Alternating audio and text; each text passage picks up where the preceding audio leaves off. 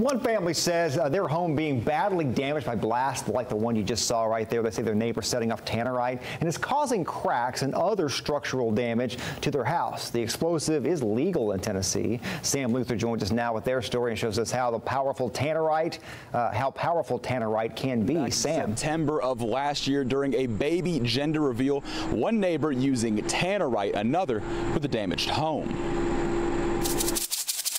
independently of each other, they're perfectly safe. But when you put the two together, you get the exploding target called tannerite, something Steve Langley says his neighbor first used during a gender reveal in September of 2018. Well, I had hoped it would be a one-time occurrence. Langley says his neighbor Thomas Peterzinski used tannerite again on July 4th, saying it's well within his right to do so. When a tannerite explosion goes off, it sounds like a sonic boom. A boom, Langley says, damaged his home, like cracking his garage and damaging frames. So with the help of Ronnie Dodd and his range, we tested it for ourselves. Langley said there's no place for tannerite in his crowded neighborhood in Soddy Daisy. Dodd disagrees, saying it's perfectly safe. But as far as being in a neighborhood, noisy, yes, sir.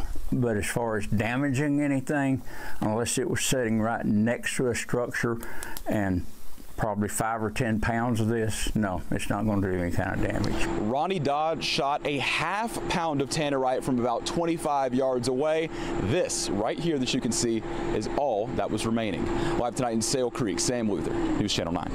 Thank you, Sam. The Langley spoke to the Hamilton County Commission yesterday about their concerns. Here is the sheriff's take. It is powerful. It is dangerous. It is legal. We have traced uh, the law. Uh, the AG made an opinion back in 2015 that it was something that could be sold. It is sold in this county. Uh, it would take a legislative change to reverse or deal with that. Sheriff Jim Hammond encouraged commissioners to speak to state lawmakers if they wanted to do something about this issue.